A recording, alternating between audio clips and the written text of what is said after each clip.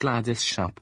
You were grounded, grounded, grounded, grounded, grounded, grounded, grounded, grounded, grounded, grounded, grounded, grounded, grounded, grounded, grounded. But mom and dad, I didn't do anything. Because 1. You deserve to get arrested in the 2006 film. 2. You're trying to kill Hammy and his friends. 3. You deserve to get grounded by us. I agree with my mother. And Gladys, go to your room right now. You were grounded for nothing.